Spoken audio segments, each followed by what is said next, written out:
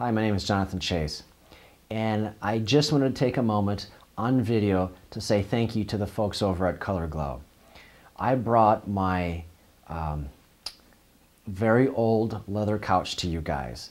I mean, it was in good condition, but it was decaying. It was kind of drying out in certain areas. It was starting to crack and was coming apart. But it has a lot of sentimental value. It was handed down from my parents, and I love the couch because you can't get this kind of couch anymore. And I brought this couch to you guys. You looked at it, uh, you did a little brainstorming, you came up with a plan, and you repaired it.